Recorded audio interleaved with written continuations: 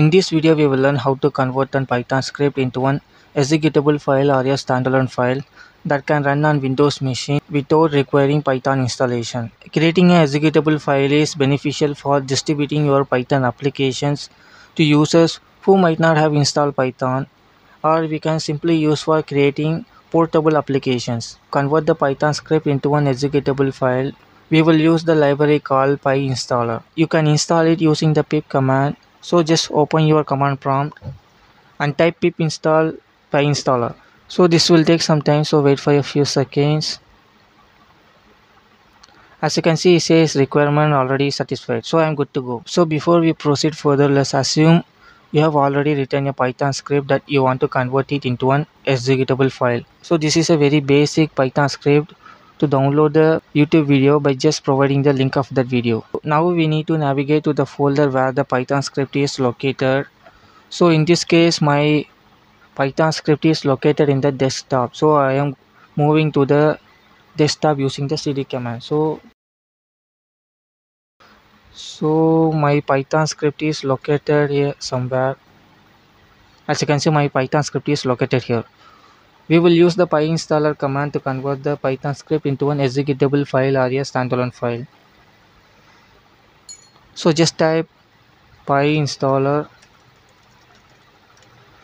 and we need to pass one flag here. So that is underscore underscore one file. So so this one file flag tells the PyInstaller to bundle all the necessary files into one single executable file.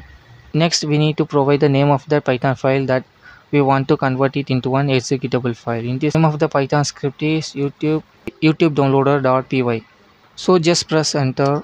So if you get any error like this typing package is an obsolete backport of a standard library package. So and we need to uninstall it using pip uninstall typing.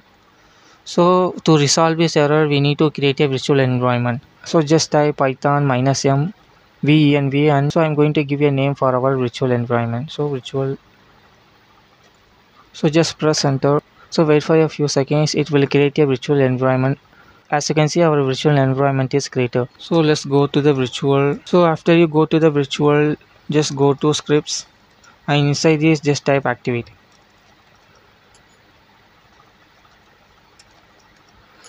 as you can see now our virtual environment is activated.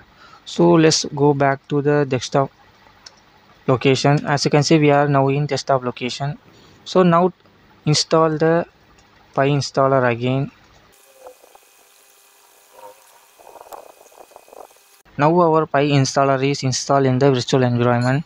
After that if you have any dependencies in the python script also install that libraries as well. In this case i'm having a dependency that i need to have pytube so let's install that as well. So pip install pytube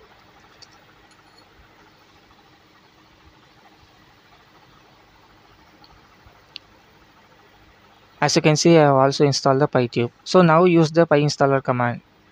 Pyinstaller one file. And the name of the python script is youtube downloader.py so now press enter. As you can see it starts building the executable file. So wait for a few seconds. It will take some time. And our executor file is created successfully. So to test the executable file so this will create two folders that is build and dist. So so you can delete the build folder if you want. So i'm going to delete it. So inside this dist folder open it.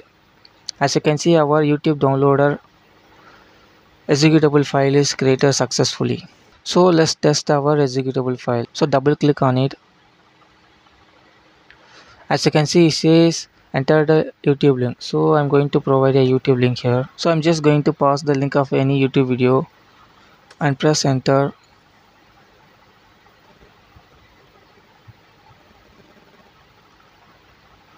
So this will take some time to download. As you can see my youtube video now has been downloaded so now we have created the standalone file. You can now share this file with anyone who don't have python installed on their machine. So this is for this video and I will in the next one